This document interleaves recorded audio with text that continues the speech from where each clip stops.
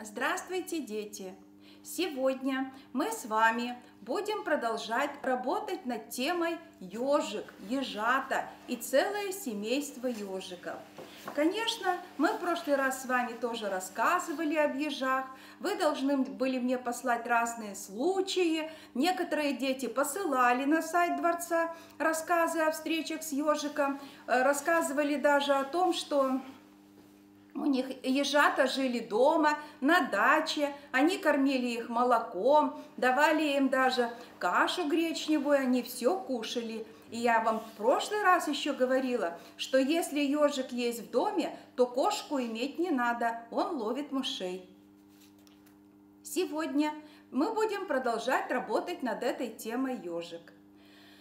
Мы можем делать ежиков объемных, можем делать вот таких плоскостных, Можем сделать целое семейство ежиков, можем норку сделать для ежика, как вот здесь у нас норка есть.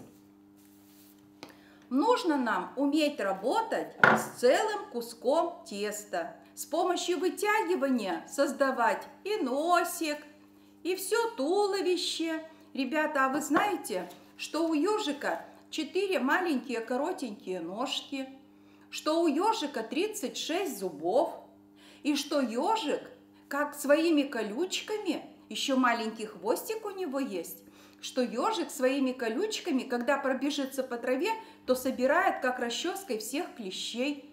И он очень уязвим от клещей. Клещи его прям впиваются, если вы увидите.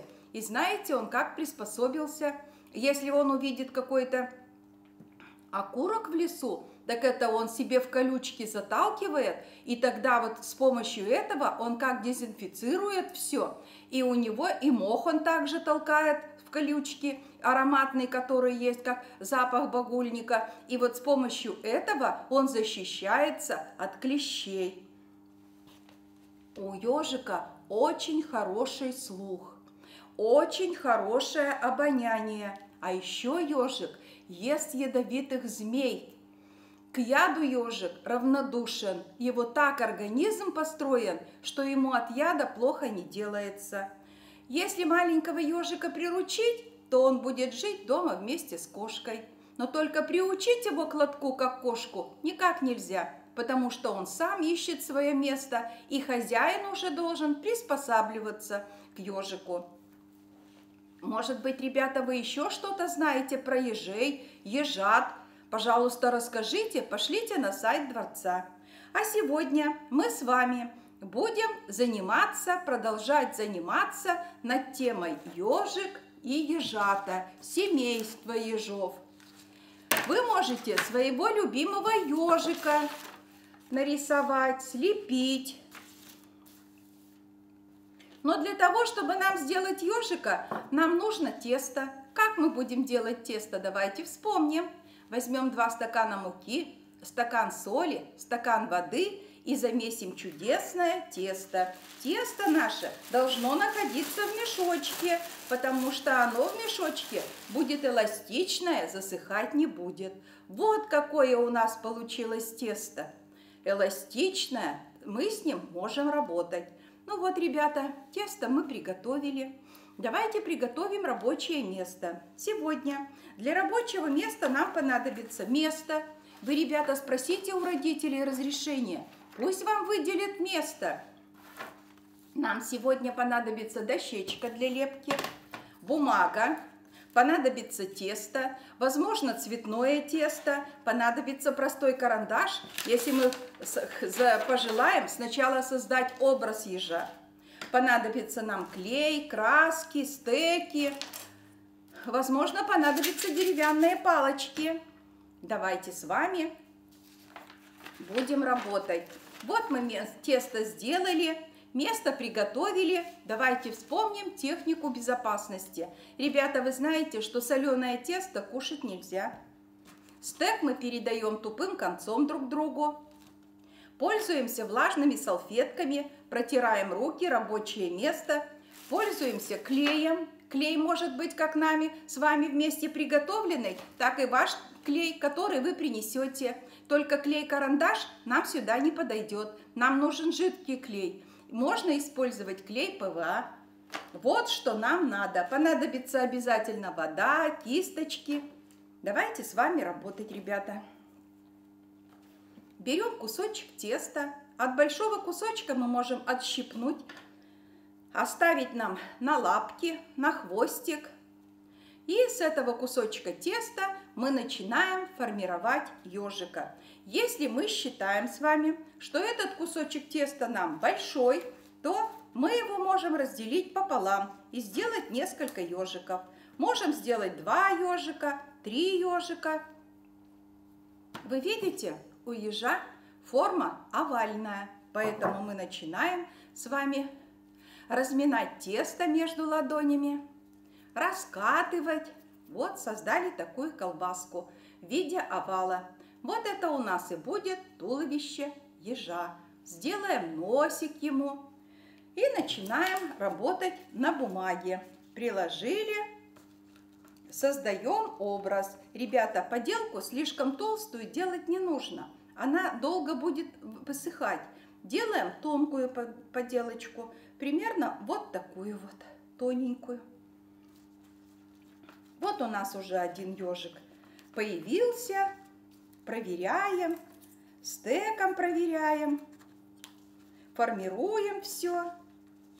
Формируем стеком глаз ежику, носик вытягиваем, у него очень такой носик, что он чутко все чувствует.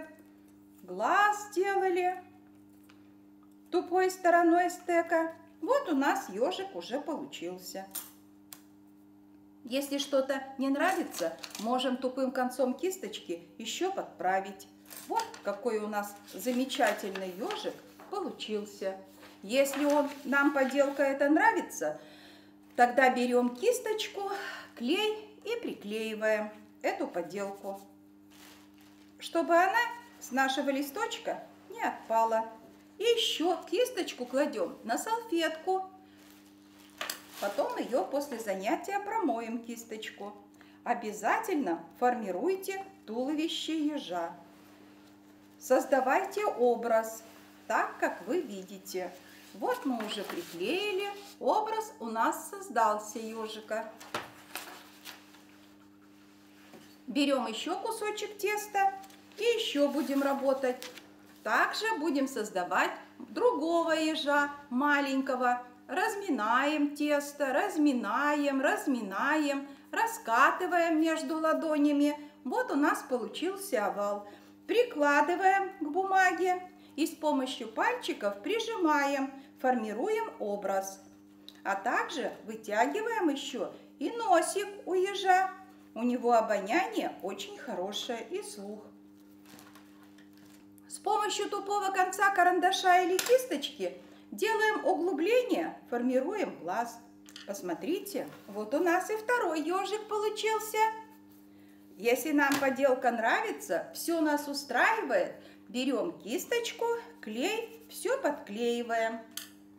Вот мы двух ежат уже сформировали, большого и маленького ежика.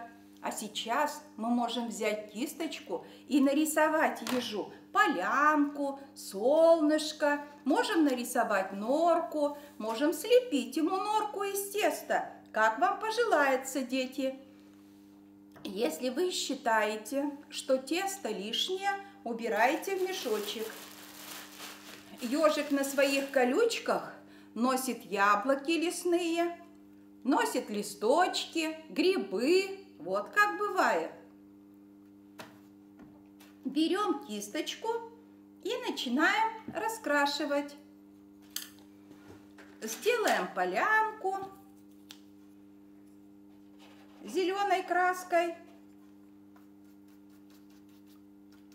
Вот она, травка какая веселая у нас получилась трава. Посмотрите. Мы можем ежат оставить, чтобы они подсохли. Мы можем только сделать сегодня пейзаж.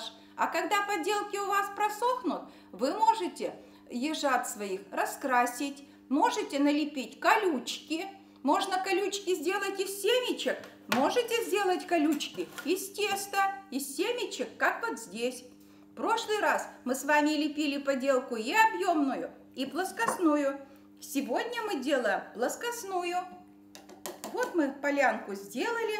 Сейчас нарисуем облака, солнышко.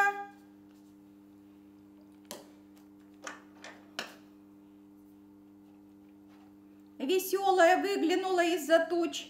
Вот какая у нас получилась веселая полянка. Можно еще цветочки добавить. Но мы подождем, пока наши ежата просохнут, и на следующем занятии будем работать. Вот, ребята, сегодня тема нашего занятия была ежи. Мы с вами лепили в прошлый раз ежат и объемных, плоскостных лепили. Сегодня мы повторяем наше занятие, продолжаем работу над темой ежата. Вы можете создавать целую семью. Вы, ребята, можете мне написать какие-то случаи о встрече с ежами. Я буду ждать ваши послания на сайт Дворца. Вы, ребята, всегда очень хорошо и замечательно все выполняете. Ваши работы я отправляю на выставки. Вы получите дипломы. Я покажу, чьи фамилии, с чьими фамилиями пришли дипломы. В прошлый раз до праздников новогодних я уже показывала. Спасибо, ребята, за все вам, вашим родителям. Молодцы! До свидания!